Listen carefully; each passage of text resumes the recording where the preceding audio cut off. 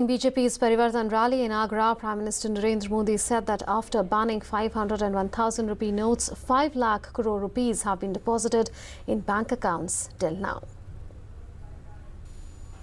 पाँच लाख करोड़ से ज़्यादा रकम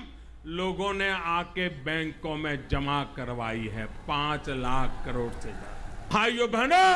ये जो मैंने कदम उठाया है ये गरीब मध्यम वर्ग के माँ बाप जो बच्चों को अच्छी शिक्षा देना चाहते हैं, पैसों के अभाव में लुटेरों के कारण नहीं दे पाते हैं अब वो वो बीमारी जाने वाली है। मेरे भाइयों बहनों बीमारी जाने वाली